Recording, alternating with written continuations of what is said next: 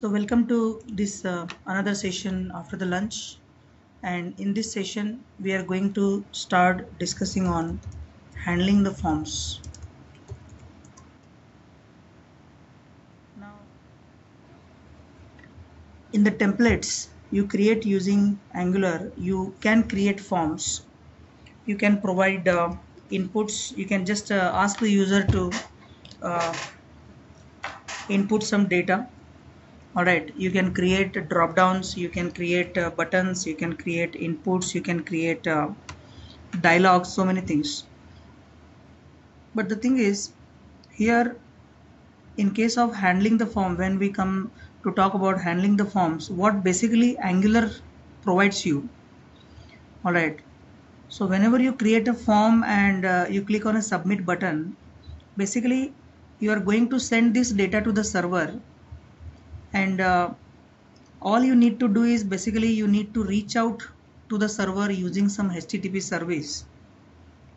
So in angular you handle the forms okay?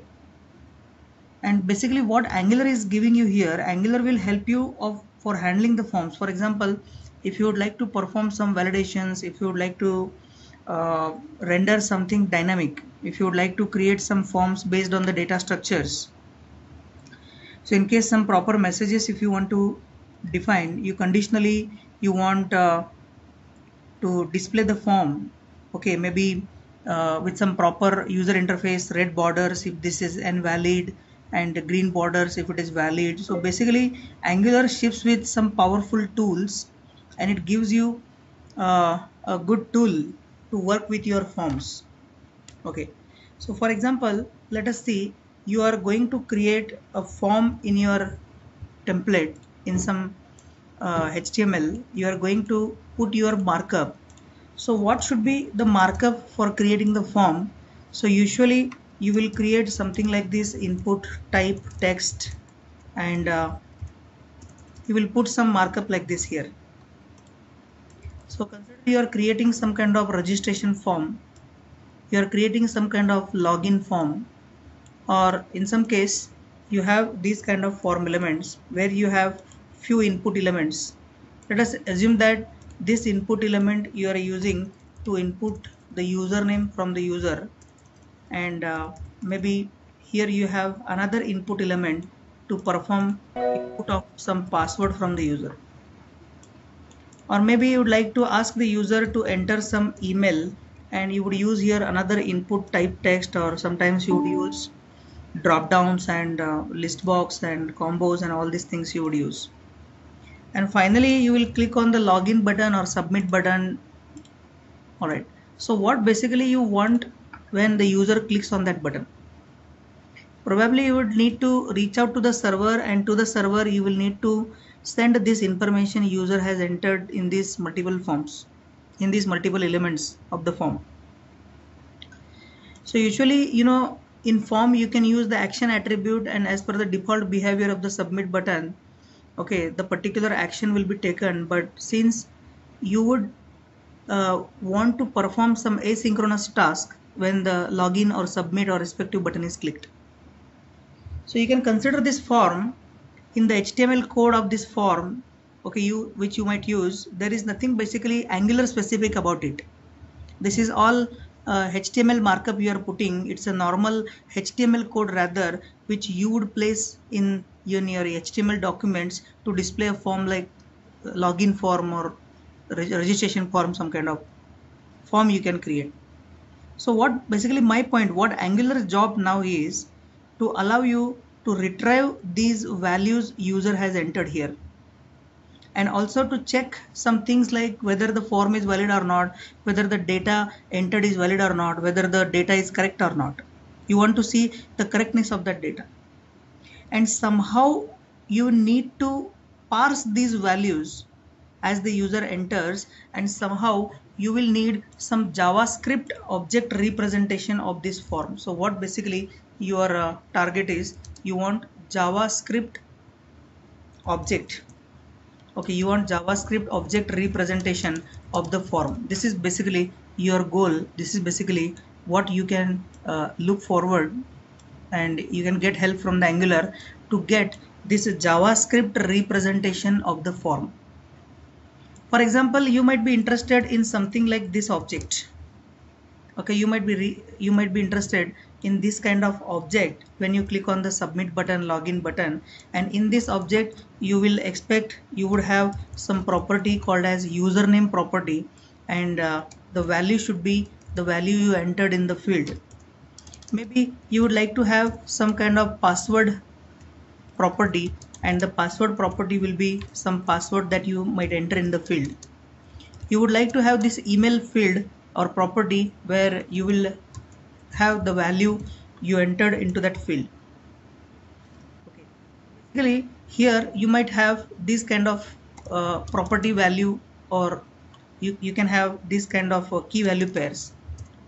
You might probably have here one uh, field called as value field and this value field will represent entire value in the form of a javascript object. So basically this property specifically should represent the entire form in the form of a key value pair in the object. Additionally, you will expect that to have these properties like whether the form is valid or not. Okay, whether this form is touched or not. So some additional property you would expect here to control the validation behavior. So basically we are looking for having a value something like this when you click on the submit button login button or when you click on the uh, button in the form.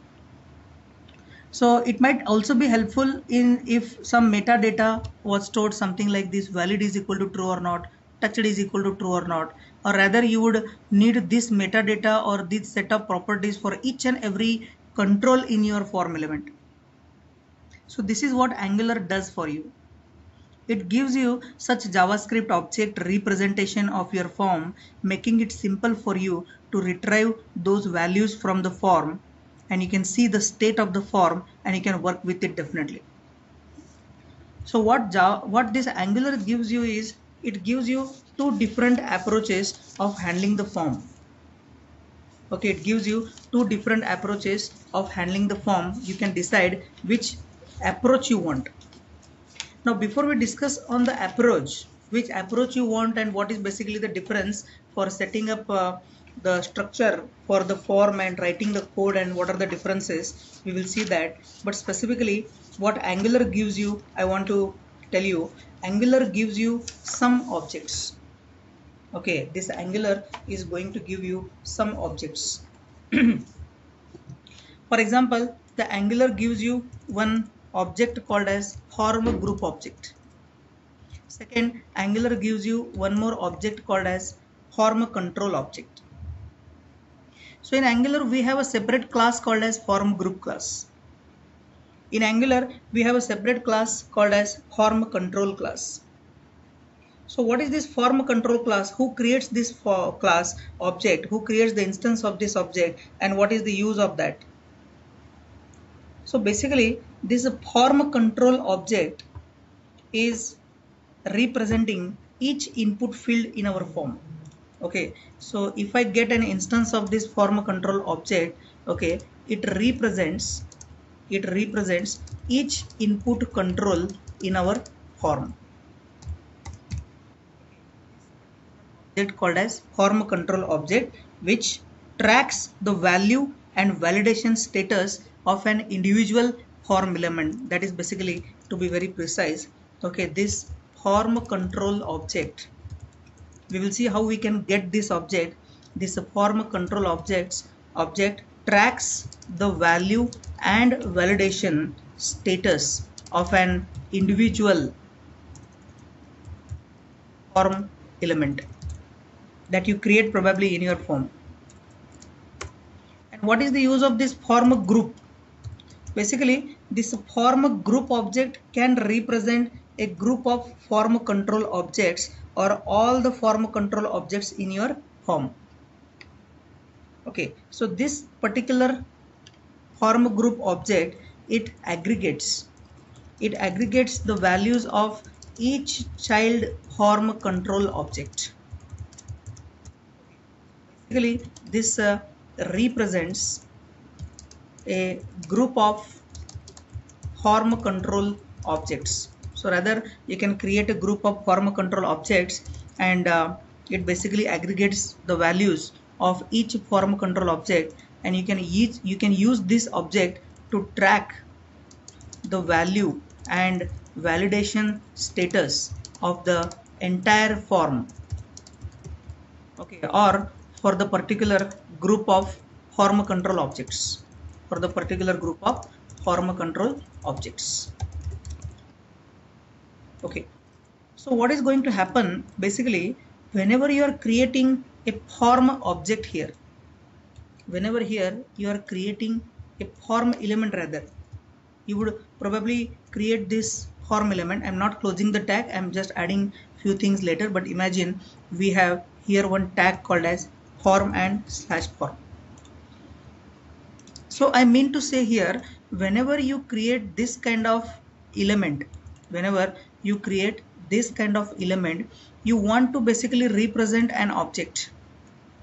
More probably most probably I would like to tell you that this should represent this object this entire object. Okay and this object should have multiple properties. So what kind of object it is? Okay this should be a form group type of object. This should be a form group type of object. And what this form group object represents it represents a value property it represents a valid property and some other set of properties.